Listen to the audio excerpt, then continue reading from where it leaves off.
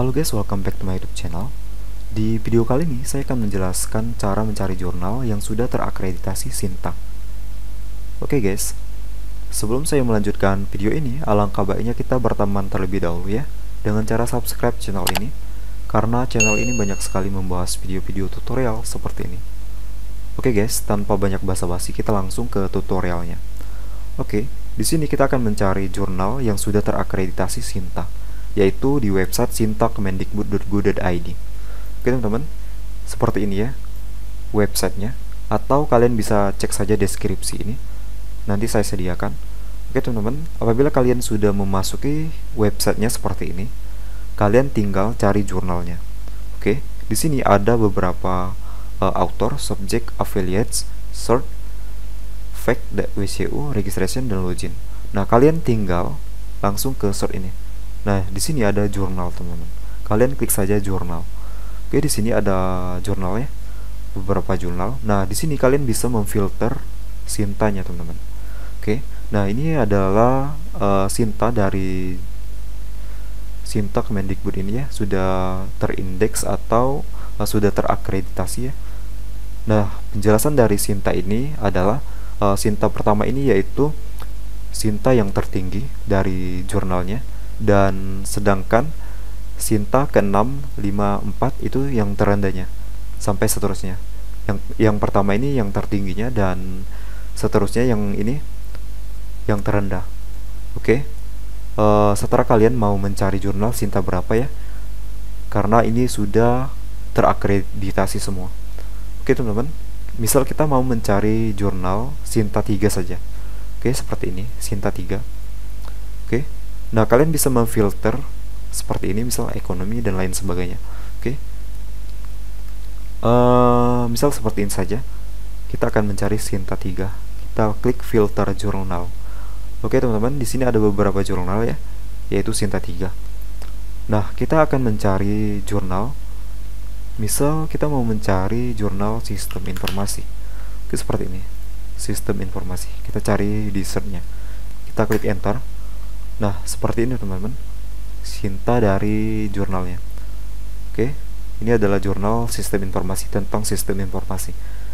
Oke, misal kita mau uh, melihat referensi jurnal ini saja ya. Oke, kita kunjungi saja ya teman-teman websitenya. Kita kunjungi. Nah, ini adalah OJS dari uh, penyedia jurnalnya. Oke. Kita lihat saja di arsipnya ya kita lihat di arsipnya. Misal kalian mau mencari referensi yang sudah terakreditasi. Oke di sini ada beberapa edisi ya. Edisi Juli Maret November. Oke teman-teman kita cari edisi Juli saja yang terbaru. Oke ini adalah jurnal yang sudah terpublish ya. Yang sudah terakreditasi juga tentunya. Nah kita misal mau melihat jurnal ini. Kita klik saja sesuai dengan judul yang kalian inginkan atau judul referensi kalian. Oke, ini ada abstraknya dan lain sebagainya. Nah, di sini teman-teman ada full text atau PDF. Kalian bisa preview saja. Oke, seperti ini. Kita preview ya. Uh, di sini ada jurnalnya. Oke. Nah, misal kalian baca-baca saja ya untuk referensi kalian atau kalian sedang mencari referensi skripsi kalian dan lain sebagainya. Atau kalian bisa download saja teman-teman. Kalian download seperti ini. Kalian download dan kalian lihat teman-teman. Di sini ada jurnalnya yang sudah terdownload ya. Ada analisanya dan lain sebagainya. Ada judulnya dan ada uh, authornya nah kalian bisa baca-baca saja ya referensinya. Uh, ini sudah terakreditasi Oke, kita kembali saja. Uh, di sini ada fee-nya atau apabila kalian mau upload jurnal ini di sini, kalian lihat terlebih dahulu uh, pembayarannya atau fee-nya ya. Di sini biasanya ada fee, nah publication fee. Nah, artikel publication ini senilai 500.000 apabila kalian uh, mau publish di OJS mereka ini. 500.000 sedangkan apabila artikel submissionnya 0 rupiah ya gratis. Nah yang publish ini teman-teman berbayar. Oke. Kita balik saja ke home.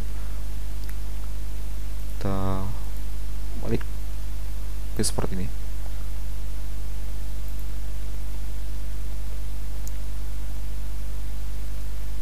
Nah, baik teman-teman, di sini jurnalnya sudah terindeks Sinta ya. Sinta di OAJ, Dimension, Garuda, Google Scholar dan lain sebagainya. Kalian bisa lihat previewnya ya. Dan juga di sini ada first focus scope-nya. Di sini ada information system, business intelligence dan lain sebagainya. Uh, di sini kalian bisa melihat alter guideline-nya. Nah, kalian bisa baca-baca saja ya uh, peraturannya dalam bahasa Inggris ini kalian bisa translate saja di Google Translate apabila kalian uh, tidak paham bahasa Inggris. Oke teman-teman, uh, itulah cara mencari jurnal di Sintak Mendikbud yang sudah terakreditasi tentunya. Semoga tutorial ini bermanfaat buat kalian dan jangan lupa klik tombol subscribe-nya dan nyalain tombol notifikasinya agar kalian tidak ketinggalan informasi-informasi yang bermanfaat dari channel ini. Oke guys, saya Rizal dan channel saya Jal Tutorial. Sampai jumpa di video selanjutnya.